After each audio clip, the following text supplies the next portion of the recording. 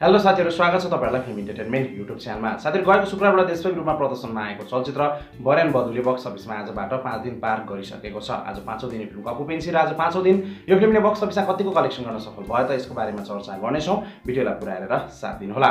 साथीहरू नायिका आँचल शर्मा विवेक कर्मचार्य गरिमा शर्मा आदि कलाकारहरूको मुख्य भूमिका रहेको चलचित्र बर्यान बधु यतिखेर देशव्यापी रूपमा प्रदर्शन भइरहेको छ। यो फिल्म नेपाल राज्यभरि लगभग सातदेखि आठ दिनहरूमा प्रदर्शनमा आएको छ भने यो फिल्मले हलहरूमा राम्रो सोच पाएको छ। तर तपाईँहरूलाई जानकारी गरौँ। आज पाँच दिनसम्म आइसक्दा फिल्मको सोजहरू निकै नै धेरै कम भइसकेको छ।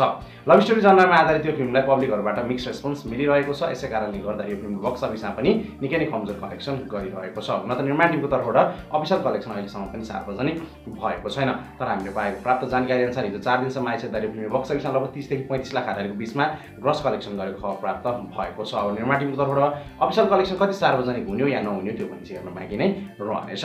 साथीहरू बर्यान बधु फिल्मले आजबाट बक्स अफिसमा पाँच दिन पार गरिसकेको छ र पाँचौँ दिन पनि यो फिल्म बक्स अफिसमा निकै नै कमजोर कलेक्सन गरेको छ। यो फिल्मको अकुपेन्सीको बारेमा चर्चा गर्ने हो भने यो फिल्मले बिहान मर्निङ सोमा तिनदेखि चार प्रतिशत अकुपेन्सी लिएको थियो दिउँसो यो फिल्मको अकुपेन्सी पाँचदेखि आठ प्रतिशतको देखिएको छ भने अहिले इभिनिङ सोमा यो फिल्मको अकुपेन्सी लगभग दस प्रतिशत पनि पुग्न गाह्रो भइरहेको छ। यसै कारणले गर्दाखेरि पाँचौँ दिन पनि यो फिल्मले बक्स अफिसमा लगभग एक लाख हारारीको ग्रस कलेक्सन गरेको खबर प्राप्त भएको छ र बर्यान बधु फिल्म बक्स अफिसमा फ्लपको बाटोतिर अगाडि बढिरहेको छ।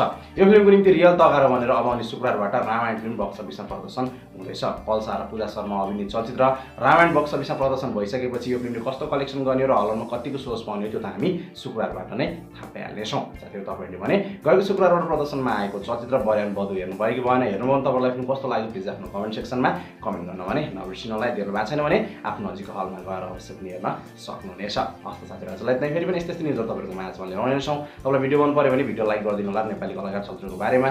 पल्लो खबर सुन्नको निम्ति हाम्रो च्यानललाई पनि सब्सक्राइब गरिदिनु होला। हस्त नमस्ते।